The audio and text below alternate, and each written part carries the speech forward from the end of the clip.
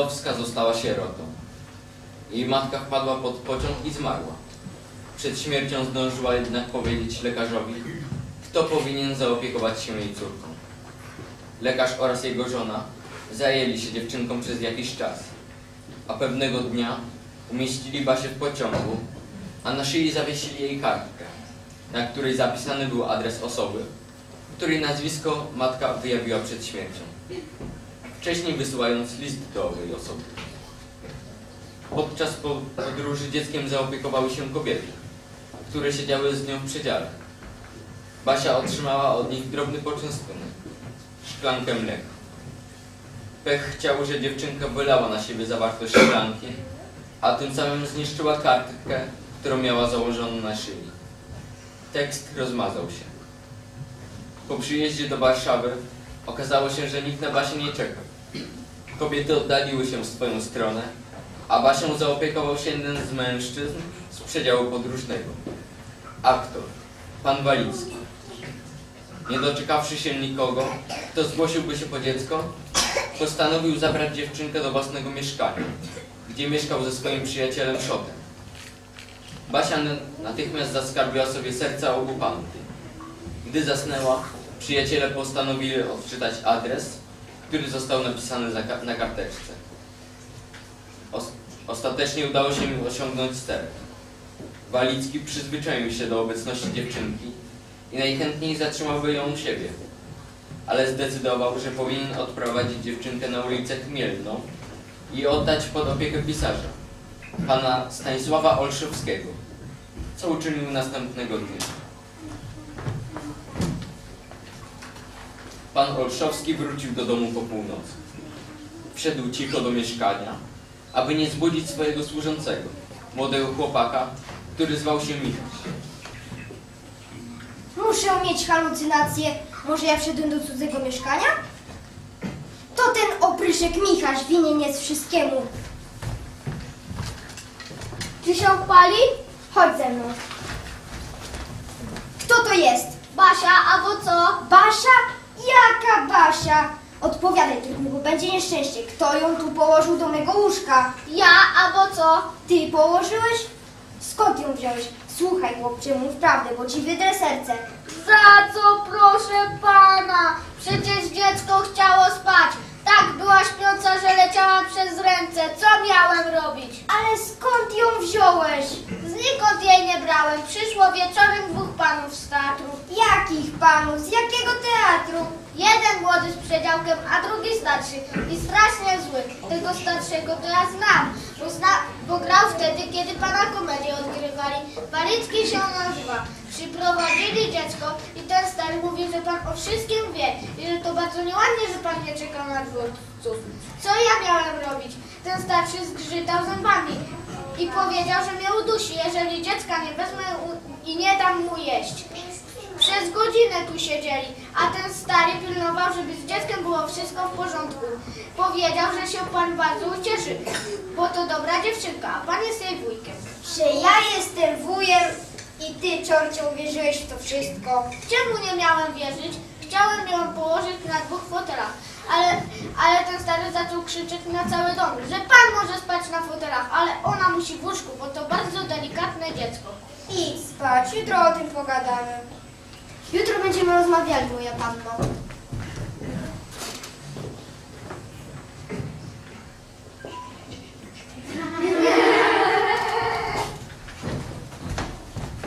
Przyprowadź tutaj to dziecko. Ocałuj mnie! Ocałuj mnie!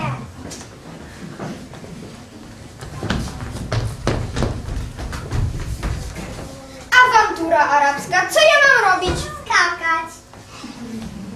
Basia została u pisarza, który zaczął darzyć ją sympatią i przyzwycza- przyzwyczaił się do obecności małej dziewczynki w swoim mieszkaniu. Kiedy więc w gazecie ukazało się ogłoszenie mówiące o tym, że poszukują jej bliscy, nie dopuszczał myśli, że miałby oddać małą Basię. Kasiu, czy bardzo kochasz wujcia? Nie dam cię, nie dam cię, maleńka. Przyszli. Kto przyszedł? Słuchaj, Wasieńko, to po ciebie przyszli. Nie zrozumiesz, ale to wszystko jedno. Powie, powiedz mi tylko, czy bardzo kochasz wujcia? Bardzo.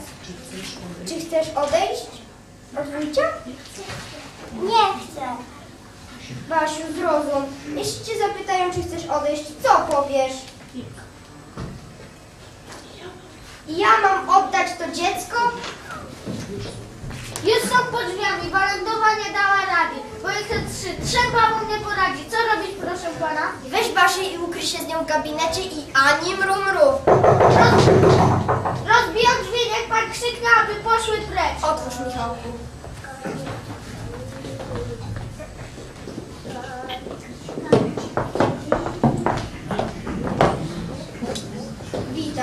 Panie. Nie ukrywam, że jestem zdziwiony.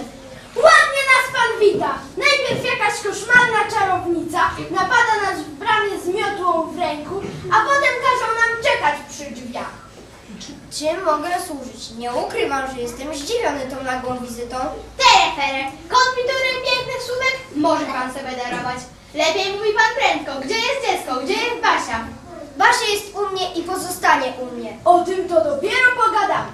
Ale siedząc, chyba pozwoli pan usiąść starej babinie, skoro nie udało się jej zgładzić ze świata przez tę czarownicę z miotu.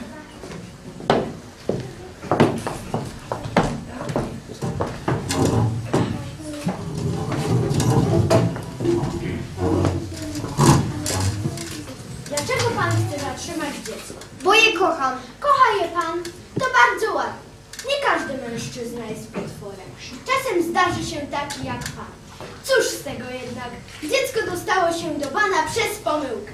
Nie wiem o tym nic, proszę szanownej pani. Oto tu jest kartka. Ja ją napisałam. Być może, ale na tej kartce można odczytać mój wyraźny adres. Niech pan nie udaje głupiego. I my wiemy, i pan wie, w jaki sposób nazwisko Olszańska zostało przerobione na Olszowskiego. Niech pani babcia zwróci temu panu uwagę. Ja zwracam panu uwagę. Poza tym myślę, że pan jest rozumnym człowiekiem. Podobno pisze pan książki. Wprawdzie żadnej z tych książek nie czytałam, bo ja mam 70 lat i nie rozumiem tych waszych nowoczesnych hokus pokus, ale przypuszczam, że do napisania najgłupszej książki jest potrzebna odrobinę oleju w głowie. Moja wnuczka opowiada, że pana książki są piękne. Ależ babciu! Mówiłaś, więc się nie zapieraj. Dlatego o tym wspominam, że jeżeli pan potrafi pisać mądre książki, to będzie pan miał też dość rozumu w głowie, aby oddać dziecko, które do pana nie należy. Basia została oddana mojej wnuczce. To dziecko jest dzieckiem najwierniejszej mojej przyjaciółki. Ja jedyna mam obowiązek otoczenia go opieką. Niech pan nie czyni trudności. Jestem wzruszona pańskim przywiązaniem do Basi. Ale sam pan przyznał, że jako mężczyzna nie będzie pan umiał jej wychować. Nauczy ją palić cygara i pić wódkę, a gdy mu ta zabawa spokrzew,nieje wyrzuci dziecko na mróz. Wychowanie tego dziecka powierzy mojej ciotce. Może pani być pewna, że nigdzie dziecku nie będzie lepiej niż u mnie. Więc pan dziecka nie odda? Nie mogę, proszę pani. Tak? Basiu, Basiu, chodź tutaj, ciocia przyjechała. Jest, jest, o Basieńko. Oto odpowiedź Basi. Nie poznajesz dziecinko? To ja, ciocia. Otumani mnie winne dziecko. Nie ma innej rady. Proszę pani babci, trzeba je iść na policję. Czym pan ją karmi? Kupiłem sobie podręcznik o karmieniu dzieci. Zresztą walentowy. To ta z miotłą, rozumiem. Ale na dłuższą metę wychowanie będzie chodziło obłąkanymi drogami. Jednego dnia ta dama z miotłą nakarmi dziecko baraniną w kapuście. I trzeba będzie wołać doktora. Niech pan pomyśli o tym, co będzie dalej. Mówiłem już. Moja ciotka. Czy to panna? Tak. Proszę A skądże panna może znać się na wychowaniu dzieci? Jeśli dobrze jestem poinformowany, wnuczka szanownej pani też jest panną.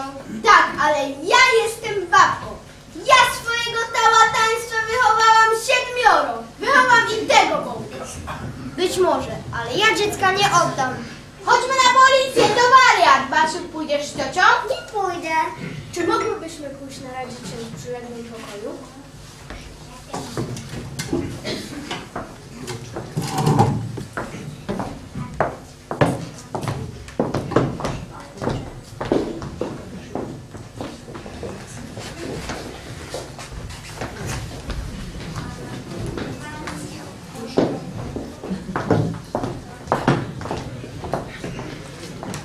Olszowski. Sprawa jest przykra, a wobec pańskiego uporu wręcz rozpaczliwa. Pan nie chce oddać dziecka, a my je musimy odebrać. Inaczej mogłybyśmy zażądać pomocy prawa. Jak pani doktorowa słusznie twierdzi, dokończyłby pan swego wie- życia w kajdanach na więziennej słomie. Uczyniłybyśmy tak niewątpliwie, gdybyśmy miały do czynienia z brutalem. Ja jednak wzięłam pana w obronę, bo jestem wzruszona pańskim przywiązaniem do dziecka. Dziękuję. Nie ma za co. Zdaje mi się, że pan jest rozumnym człowiekiem. Policja tu na nic. Będzie awantura. Więcej gadania niż potrzeba. My posiadamy do dziecka prawo formalne. Pan powołuje się prawem serca. Czy nie uważa pan, że moglibyśmy tę sprawę załatwić ugodowo? W jaki sposób? Przez sąd polubowy. Zaprosimy dwóch niezainteresowanych ludzi i niech nas sądzą. Przecież to chyba uczciwe. Nikt się pan nie upiera. Dziecko to jest i tak już bardzo nieszczęśliwe. Podróż nosi w nim smutne życie, spory gniew i jałową wojnę. Ja widzę, jaki pan jest dobry. Niech Bóg panu zapłaci za miłość do tej maleńkiej. Jednak nie chciałabym, abyśmy się rozeszli w niebie. Może się uda znaleźć jakieś wyjście z tej niemożliwej sytuacji. Słyszy pan? Sama mądrość mówi przez tą panią. Ona ma to po mnie. Więc jakże, drogi panie? Dobrze, co mam robić? Pan zaprosi kogoś ze swych przyjaciół, ja zaproszę kogoś z naszej strony.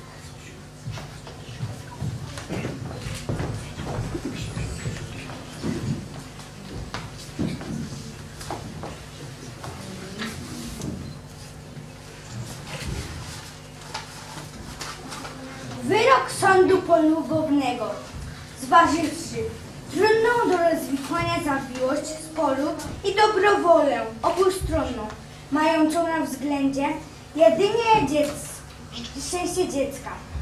My podpisani orzekamy.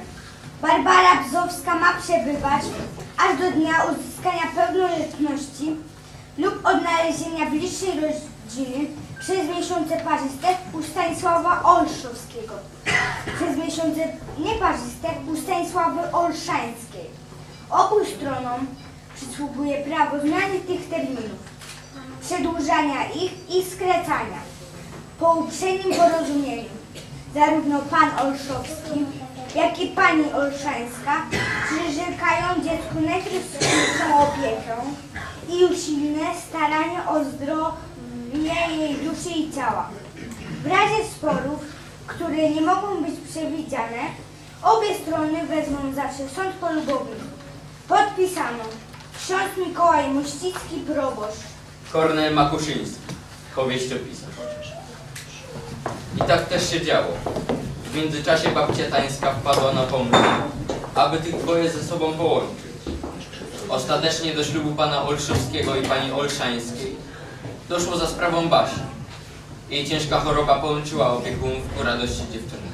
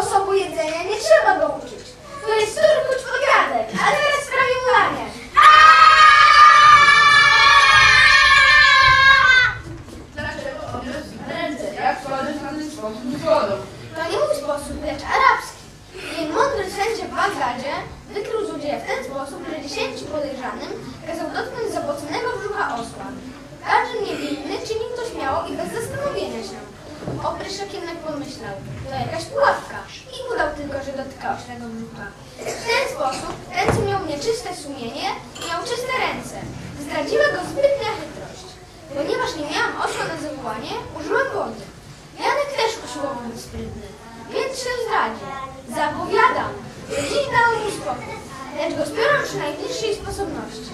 Najlepiej wtedy, kiedy w domu będzie pranie, aby nie zwracać uwagi.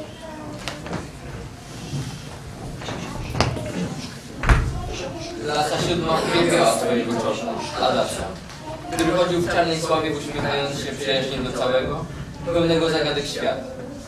Rozszyfrował system odpytywania profesora Gąsowskiego, odnalazł jego zaginione listy, rozwiązał zagadkę kradzieży pióra wiecznego, wykrył błąd w księgach rachunkowych uczniowskiej spółdzielni. Profesor Gąsowski, widząc zdolności swojego ucznia, postanowił poprosić go o pomoc w rozwi- rozwikłaniu pewnej rodzinnej zagadki. Dzień dobry. Dzień dobry.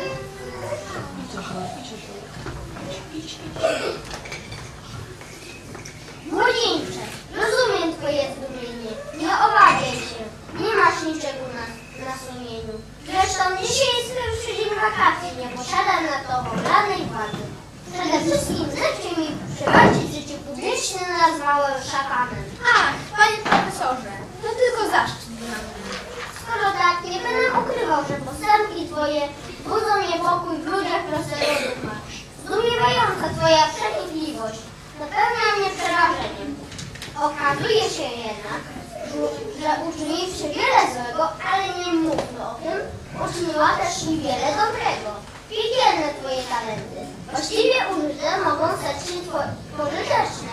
Rozmyślałem nad tym i przyszedłem do ciebie prosić o radę i pomoc. Nie otwieraj oczu tak szeroko, bo mnie o nie śmiewasz. Tak jest, drogi chłopcze. Potrzebnie mi gwałtownie twojej pomocy. Tak znalazłem się w srogich tarapatach. Nie ja osobiście, co moja rodzina. Dowiesz się o wszystkim w swoim czasie. Przede wszystkim zechciej mi powiedzieć, gdzie i jak masz zamiar spędzić wakacje. Nad morzem. Mamy wyjechać pojutrze. W takim razie wszystko przepadło. Dla mnie nie wyrzekniesz się morza. Gdybym wiedział, o co idzie, panie profesor, profesorze. Czy pan profesor naprawdę ma jakąś wielką zbiorotę? Bardzo wielką, bardzo wielką. Gdybyś mi jednak chciał pomóc, musiałbyś pojechać z nami. Przepraszam, jak ci na imię? Adam. Prawda, Adam. Już mi to mówiłeś parokrotnie. Otóż, kochany Adamie, przyjechała do mnie onegdaj moja bratanica Koza. To znaczy nie koza we właściwym znaczeniu tego słowa, lecz usposobieniem przypominające kozę. Przyjeżdża po mnie, aby mnie zabrać na wieś. Otóż ta moja bratanica przywiozła smutne wieści. Jakieś tajemnicze niebezpieczeństwo zawisło nad moim rodem. Pomyślałem sobie, pójdę do tego piekielnika.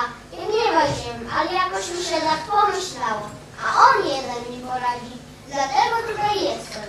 Innego zaufania nabrałam do ciebie, kochany Wielkuszu. Adamie, panie profesorze. Prawda, jednak cię może odejdę z rozpaczą. Panie profesorze, bardzo wątpię, czy mógłbym się na co przydać. Ale bardzo bym nie chciał, aby pan pro, profesor odszedł smutny. W tej chwili nie mogę niczego obiecać, ale kto wie, czy po rozmowie z rodzicami... Adamie!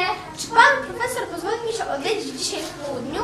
We dnie i w nocy, kiedy zechcesz. A koza? Jaka koza? Bratanica pana profesora. Będzie, będzie. W tej chwili lata jak kot z i ogląda fatałaszki. Nie rozumie tej namiętności. Kto jednak zdołał kiedykolwiek pojąć kobietę?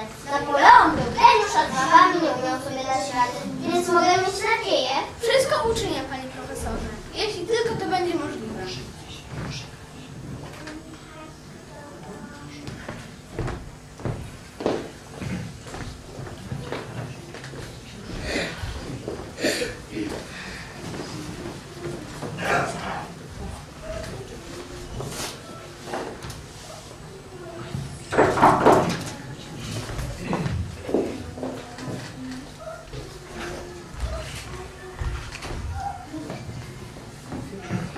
Aha, pan zapewne jest szatan. Stryjek tak pana nazwa.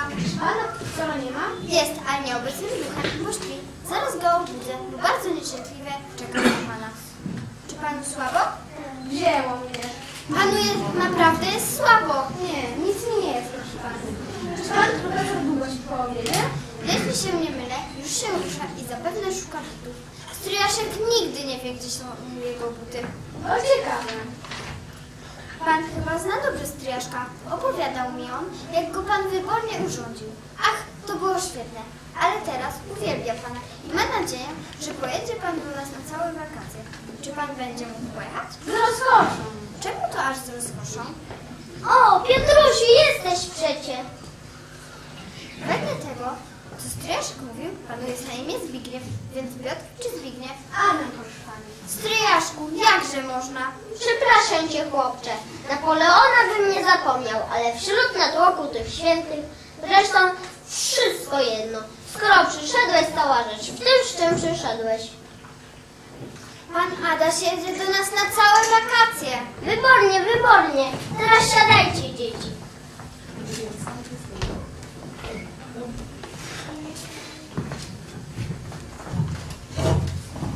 Opowiesz naszemu przyjacielowi, co i ja. Ona o tobie wie wszystko, chłopaczku. Z kolei ty dowiedz się o niej. Ty jest moja bratanica, a zwie się Wanda. Wandeczko, gadaj o wszystkim. Panie Adaszu, u nas na wsi dzieją się bardzo dziwne rzeczy. Oni mają wieś niedaleko Wilna. Od 300 lat naszej rodzinie. Mów dalej. Do niedawna było tam spokojnie. Nic się nie działo. Ani do nas nikt nie przyjeżdżał, ani my do nich nie jeździliśmy. Wieś jak zapadła. Mamusia prowadzi gospodarstwo, a ojciec Ojciec to znaczy mój brat. Bawi się matematyką. Wyższą matematyką.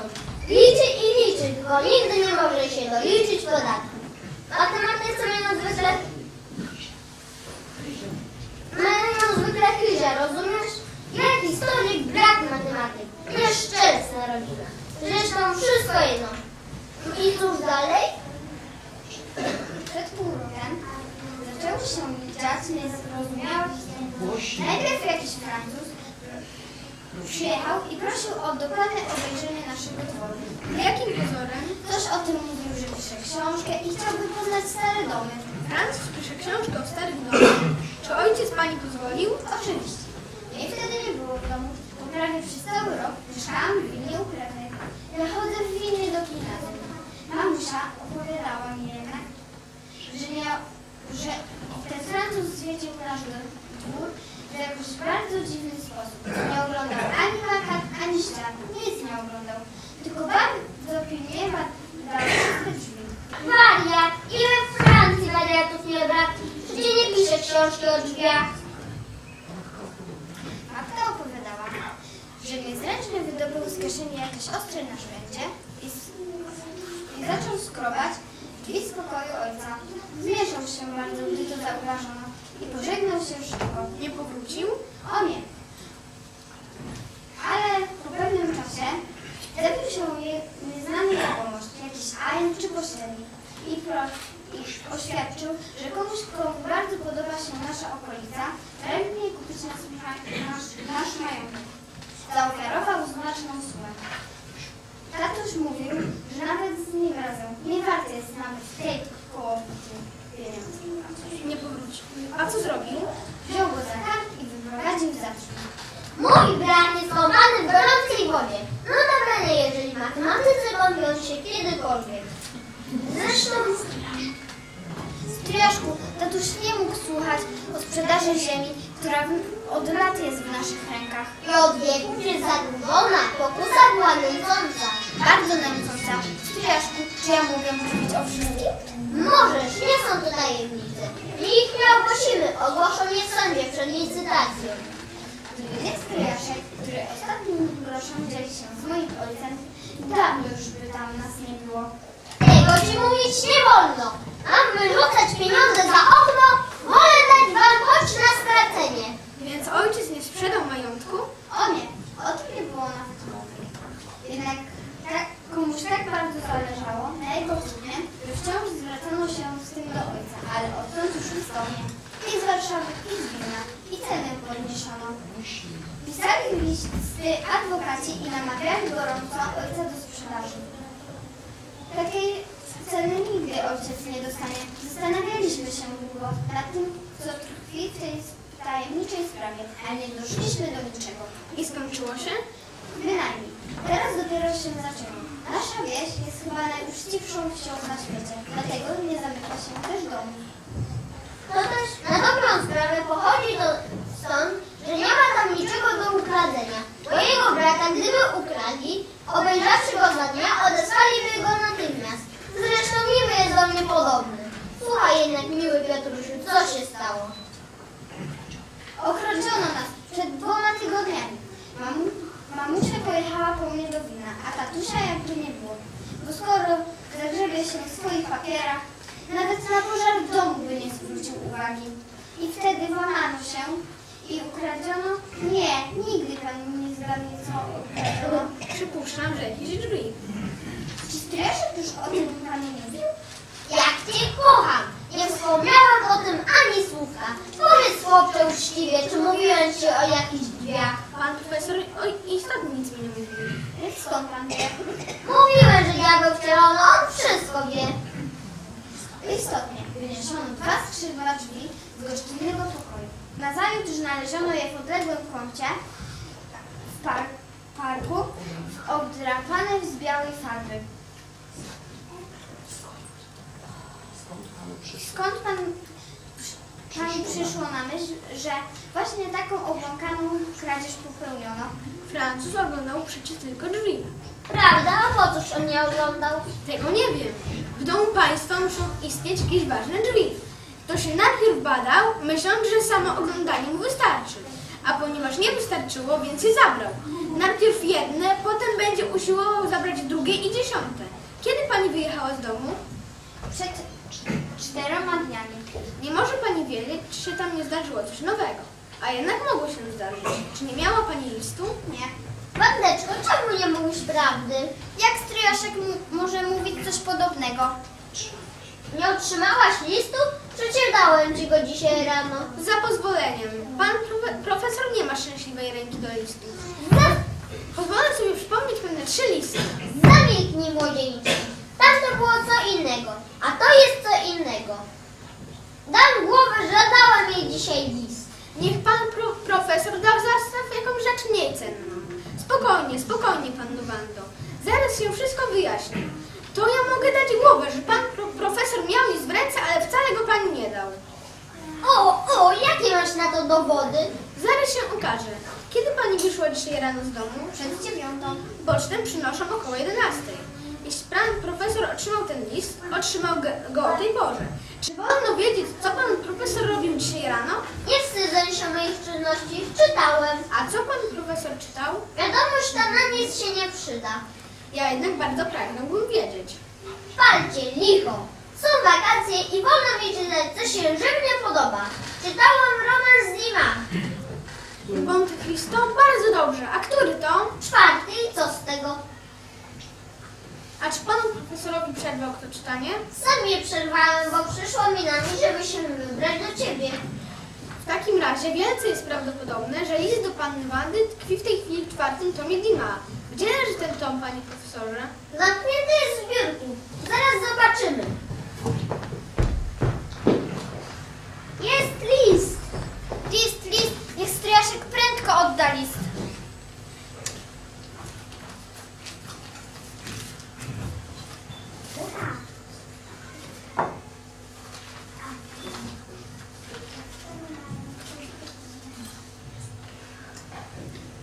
Jest nowa awantura! Ukradli cały dom? Nie, tylko inne drzwi.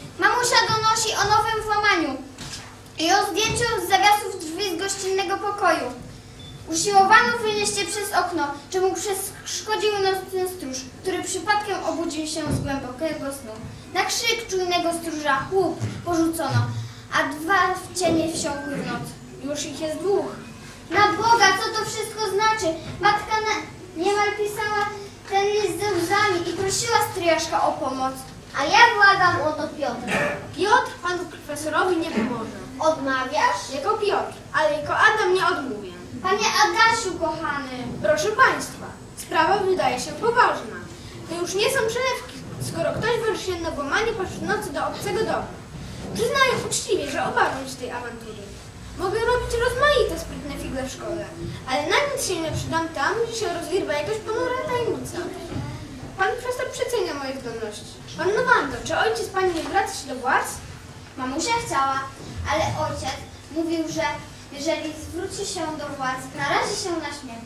Skoro po, po, Pojawi się ze skargą. kiedy pojawi się ze skargą, że wyniesiono drzwi z, z domu. Przyznaję uczciwie, że dość trudno byłoby pojąć takie oskarżenie. Ojciec pani rozumie i słusznie. Trzeba byłoby tę sprawę rozświecić domowym, że tak powiem, sposobem. Ale ja temu nie podołam. Pan wszystko potrafi. Tylko w romansach odnoszą triumfy genialni psychologowie. Książki o tym czy, czytałam z taką samą pasją, z jaką pan profesor czyta Dima. Pomysłowy autor wyprawia cuda, ale ten sam autor nie może wedle swojej niezrównanej metody odnaleźć zgubionej spinki. Pan profesor przecenia moje zdolności, a co będzie, jeśli nie dokonam niczego? Sam narażę się na śmiech, a was na szkody. Więc pan nas opuści, panie Adasiu? O nie! Pragnąłbym jednak, aby Państwo zechcieli wezwać mnie choćby na nieudaną próbę. Dopiero wtedy, kiedy już wszystko zawiedzie. Młodzieńcze, można by się zwrócić jedynie do władz. Na, na to czas będzie zawsze.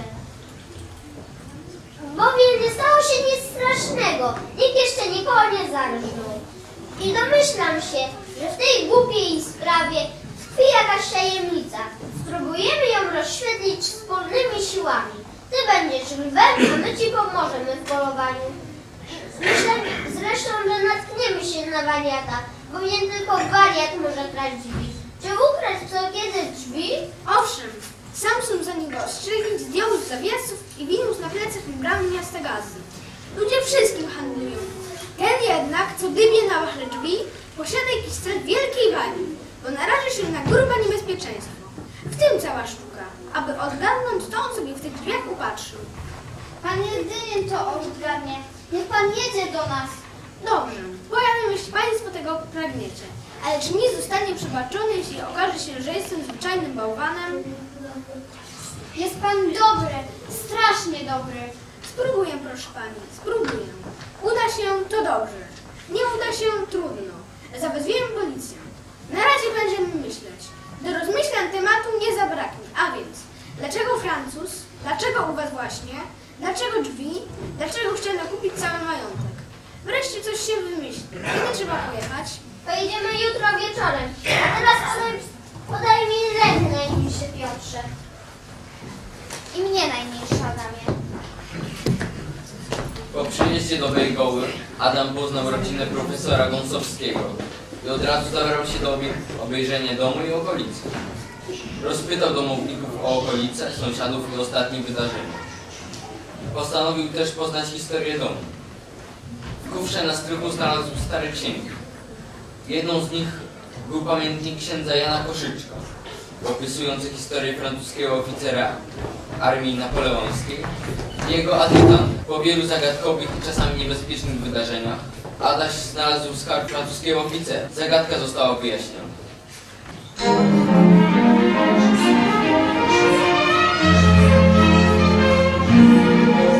Była sobie panienka, nazywano ją Ewa Nierozważna i prędka jak majowa ulewa Główce Ewy mówiono, kwitnie łąka zielona. Świat był mądry, roztropny, a Ewa szalona. Ja, Kornel Makuszyński, nieszczęsny autor Panny z mokrą głową i posępny autor awantury o Basie. Siedziałem spokojnie w zacisznej komnacie, rozmyślając nad jedną jeszcze powieścią dla dorastających pań. Jest to sprawa wymagająca niezmiernego wysiłku ducha. Czekałem na tę wspaniałą chwilę, w której z dręczonej mojej głowy wyskoczy dorastająca panienka jak Palas Atene, dostojnej, kędzierzawej i brodatej głowy Zeusa. Zamiast dorastaj, dorastającej panienki, wkroczyła się do mojej komnaty niewiasta służebna, noszące, nosząca przeciwne wonne imię, jak cyza. Przyszła jakaś taka i takie coś. Ach, jakaś taka? Przecie mówię po polsku. Tak, tak, rozumiem, jakaś pani. A więc któż skoro nie pani? Panica. Patrzcie, patrzcie, Narcyza była łaskawa wspomnieć coś o tym, że z tą panną przyszedł ktoś, i- że ta panna przyszła z kimś jeszcze. Z nikim nie przyszła. Ej, a nie, wedle tego co słyszałem, zdaje się, że z tą panną przyszedł ktoś jeszcze. Bo przyszedł A więc, k- a więc kto? Jakiś pan? żaden pan. Skoro nie pan, więc kto? Pies. Pannica czupiradło, a pies pokraka. A czy Narcyza przypadkiem nie wie, czego chce ta panienka z psem? A skąd ja mam o tym wiedzieć? Dobrze, już dobrze. Istotnie, skąd Narcyza miałaby o tym wiedzieć? Teraz ludzie już tacy są. Przychodzą i sami nie wiedzą po co. A gdzież jest ta panienka? Siedzi przed pokojem i wirnie. Gwizdże? Dlaczegoż ona gwizdże? Teraz wszystkie takie. Co z nią zrobić? Może by tak na łeb ze schodów? Ależ Narcyzo, jakże można? Dowiemy się, czego chce. Jak pan chce, ja bym z taką osobą nie gadał.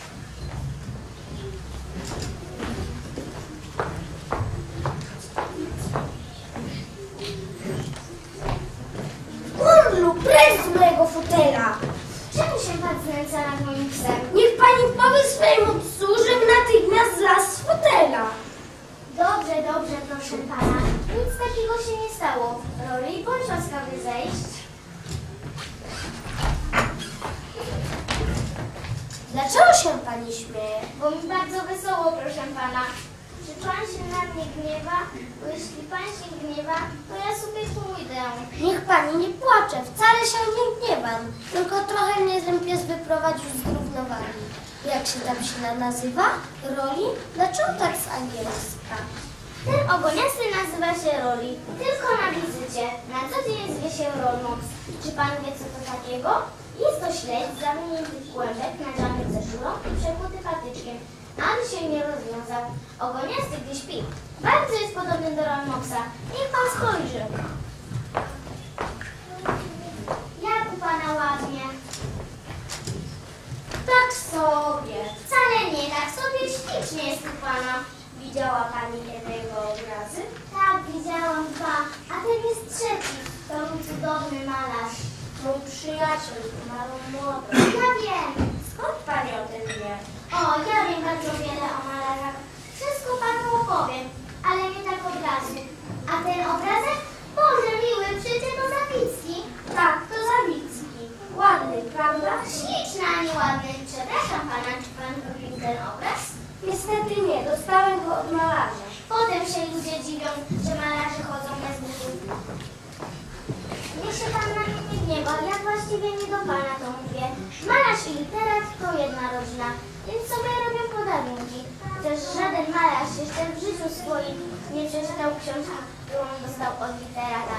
Czasem ją tylko pali w piecu albo rzuci za psem, ale innych to bym tak tłukła w moździerzu. Kogo na ten przykład? Tych wszystkich, co umieją od niemądrego malarza wycyganić za darmo obraz, proszę pana. Pan nie ma pojęcia, ile Zawicki rozdał obrazów. Czy być może? Może być, skoro ja pani to mówię. Pani go zna osobiście? Czy ja go znam? Pan skona ze śmiechu, skoro się pan dowie, jak ja go dobrze znam. Dlaczegoż mam od razu skonać? Czy nie mógłbym się o tym dowiedzieć za mniejszą cenę? Oj, ja nieszczęśliwa. Cokolwiek zrobię, wszystko źle. Cokolwiek powiem, jeszcze gorzej. Ja się chyba zabiję. Ja się chyba zabiję. Niech się pan nade mną nie lituje. Ja jestem przeklęta przez los i pan Bóg się mnie wyrzekł. Ależ proszę pani, Nie, nie, niech się pan nade mną nie lituje. Ja chcę umrzeć. nie tu! A gdzie mam umrzeć? Nie mam ani domu, ani nikogo. O, biedne dziecko. Bardzo mi, ba, bardzo mi smutno, że się tak pani wzruszyła, panno Zosiu. Kiedy ja wcale nie jestem Zosia. A wolno wiedzieć, jak pani na? Wolno. Tatuś nazywał mnie Wuk, a koleżanki nazywają mnie Miki. A jak mama? Moja matka umarła, kiedy miałam 8 lat. O biedactwo. O, jaki pan jest dobry. Mnie na imię jest Ewa, a nazywam się Tyszowska. Tyszowska? Znam to nazwisko. Jest głośny lekarz bakteriolog. ojciec. W takim razie ja znam ojca pani. Tak, tak. I ja to wiem. Pierwszą książką, którą dostałam od ojca była książka pana. Pan może o tym wie, że mojego ojca teraz nie ma w Polsce. Wiem, bo to głośna sprawa. Tak, a teraz ojciec wraca. Wraca za dwa tygodnie. No to świetnie. To wcale nie świetnie. Jakże to? Pani się nie cieszy? O rany, od kiedy dostałam wiadomość, zdaje mi się, że oszaleję z radości. Ale proszę pana, ja się boję. Czego? Co się stało? Stały się straszne rzeczy. Nie było w kraju przez półtora roku. Pan nie może mieć nawet wyobrażenia, co ja zdołałam w ten czas zdziałać. Jeśli ojciec nie osiwieje, to będzie cud boski. Co ja narobiłam? Cóż pani mogła takiego zrobić? Co ja zrobiłam? Tak się nie da od razu opowiedzieć. I na wołowej skórze też by nie napisał. I dlatego właśnie przyszłam do pana. A cóż ja mam z tym wszystkim wspólnego? Niby nic. Ja panu wszystko uczciwie opowiem, a pan, mia, a pan wytłumaczy ta, tatusiowi. Ja? Dlaczego ja? Przecie pan nas kocha. Kogo to nas? Tych wszystkich, co mają szykiełbie we łbie, więc i mnie. Czy pan myśli, że ja nie wiem, jakie rozmaite podlotki pisują do pana listy? My w szkole wszystko wiemy. Owszem, pisują. I cóż z tego? To z tego, że powinien nas pan obronić i nie pozwolić nikogo skrzywdzić. Cóż ty sobie wyobrażasz, szalona dziewczyno, że ja będę z tymi ludźmi wojnę toczył o 100 tysięcy podlotków, którym podobało się nawet 100 tysięcy głów? Cóż sobie panienka wyobraża? Ja nie wiem o co idzie, ale nie chcę mieć z tym nic wspólnego. Skoro panienka nałożyła piwa, niech teraz wypije. Może panienka go zamordowała. Nie mam czym! To, to całe szczęście, zresztą wszystko jedno. Pan jest bardzo kochany. Pan niezbyt udaje takiego, co się okropnie złości. Ja udaję? Wypraszam sobie te. Oświadczam pani stanowczo, że, nie, że, że nie chcę słyszeć o niczym. Nie wezmę udziału w żadnej awanturze i nie zamienię z ojcem pani ani słowa. I nie obroni mnie pan przed tatusiem? Nie obronię. Ha, to trudno. Bardzo pana przepraszam za najście. Żegnam pana i niech Bóg ma pana w swojej opiece. Żegnam. Przepraszam, nie skończyłam jeszcze. Panu będzie boska opieka bardzo potrzebna. Czemuż to? Otóż cała młoda Polska dowie się jutro, że Pan odmówił opieki i pomocy jednej z tych, który od tylu lat udaje Pan miłość. My Pana kochamy, my Pana wierzymy, a kiedy się zdarzyło, że jedna z nas przyszła do Pana, aby się wypłakać, Pan ją wygnał na mróz. Na jaki mróz! Wszystko jedno, mrozu nie ma, bo jest lato, ale tak mi się tylko powiedziało. Najpierw jakiś potwór chciał mnie zakatrupić w przedpokoju, a teraz pan szuka, czym ciężkim mógłby pan we mnie rzucić. I to wszystko za to, że ja do pana jak do rodzonego ojca, jutro wszyscy się dowiedzą, jaki pan jest naprawdę. Rory, chodź, bo pan Maguszyński jeszcze nas zamorduje. Potworze, stój! Strasznie pana kocham. Historia, którą mi opowiedziała, była prosta i smutna. W związku z rocznym gwiazdem rodziciela do kin została umieszczona wraz ze złodziejskim kutlem Rollmopsem w smutnym domu państwa Szymbarki. Po wielkiej awanturze z panią Szybartową zdecydowała się na ucieczkę przez okno, znajdując schronienie u państwa Zawadzki. Opatrzność sprawiła, że na jej drodze pojawił się malarz Jerzy Zawicki. Od tej pory życie Ewci obfitowało w różne szaleństwa, mniej lub bardziej tragikomiczne. A ona sama stała się swoistym arbitrem w sprawach trudnych i na pozór nierozwiązywalnych.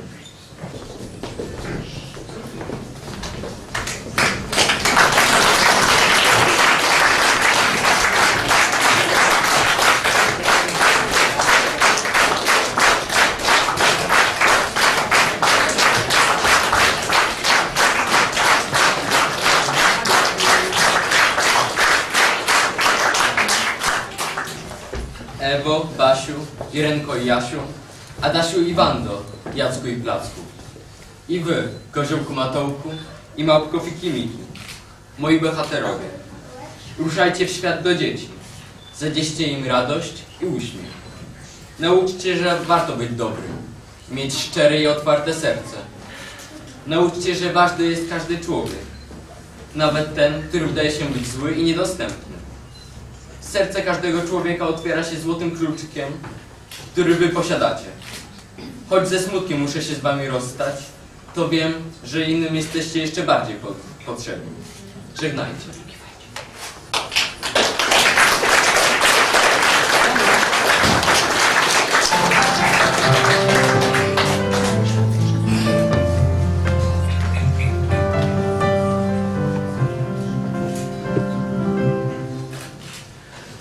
Lipca 1953 roku w willi Opolanka, w której mieszkał Makuszyński, pojawił się jakiś chłopiec, prosząc o widzenie z nim. Powiadomiony, że pisarz jest ciężko chory i nikogo przyjąć nie może, wyjął nieśmiało z zanadrza białą różę z prośbą o wręczenie jej ukochanemu autorowi. 31 lipca 1953 roku Kornel Makuszyński odszedł na zawsze. Był piękny, słoneczny dzień. Jak gdyby wybrany na ostatnią ziemską drogę pisarza, co miał słońce w herbie. Przed willą zgromadziły się tłumy mieszkańców Zakopanego i ludzi przyjezdnych. Trumnę honorowego gazdy wynieśli górale w odświętnych strojach. Z kościoła na cmentarz nieśli ją przybyli pisarze. Był dobrym człowiekiem. Był jednym z tych, którzy dobroć utożsamiali z mądrością, a talent z charakterem. Był jednym z tych, którzy wiedzieli, że nie można być wielkim pisarzem, będąc złym człowiekiem. Do grobu podchodziły długim szeregiem dzieci i rzucały kwiaty. Pochowano go w Zakopanem na cmentarzu zasłużonych, na pęksowym brzysku, z białą różą na sercu głosem zgrabianym głosem, córce starganym i głosu, precz głosem doliny dal. Hej, góral, zormij się zor.